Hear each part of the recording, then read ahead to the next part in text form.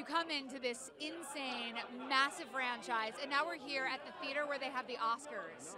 What is that like for you? It's wild. This has got to be one of the biggest premieres I've been to. It's uh, it's awesome, and I love seeing all these girls that I now personally know and consider friends all over the place and all over LA. It's it's incredible.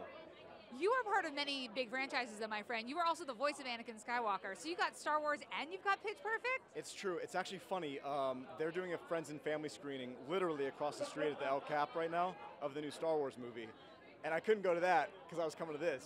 So uh, I don't know. I was, I was, I wanted to know what time this was getting done. Maybe I could hop over there, but uh, I will see that in due time because uh, I would, I would not want to be anywhere else but celebrating this film right now. It's nice to know where your loyalties lie. I just said I want to be here. what was it like to have Trish come in as the new director and this all-female cast working together behind the scenes and in front of the camera? Trish was great. Um, I, I, I uh, you know, I didn't know what to expect coming into it. They, have been a family for many years now with, with uh, two successful movies, and uh, you just never know what to expect coming in. And, you know, obviously, uh, the movie's not about me, it's about them, and, and I just wanted to come in and do my job and and uh, in any way that I could to support them in, in the Bella's story. And uh, I'm just happy to be a part of it. Uh, I, I loved getting to know all these girls, and um, you know, it was, a, it was a really, really fun experience for me.